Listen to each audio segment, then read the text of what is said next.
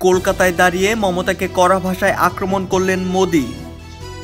উত্তরবঙ্গের সবাই আক্রমণের পর কলকাতাতেও নির্বাচনী সভাতে মমতাকে এক হাত দেখিয়েছেন মোদি। আজ বুধবার বিকেল সোয়া চারটায় কলকাতার ঐতিহাসিক ব্রিগেড ময়দানে বাংলা দিয়ে ভাষণ শুরু করেন তিনি। এরপরই তিনি মমতা বন্দ্যোপাধ্যায় ও তার তৃণমূল সরকারকে স্বভাবসুলভ ভাষায় আক্রমণ করতে শুরু করেন। মোদি বলেন দিদি আর ওনার সঙ্গীরা দেশবিরোধী কথাবার্তা বলছেন, কারণ ওনাদের রাজনৈতিক জমি টলে গিয়েছে। কাল কংগ্রেস একটা ভুয়ো ইস্তাহার জারি করেছে। এই ইস্তাহারে কংগ্রেস এমন প্রতিশ্রুতি দিচ্ছে, সেগুলি পাকিস্তানি বসে থাকা সন্ত্রাসবাদীদের সহযোগিতা করবে।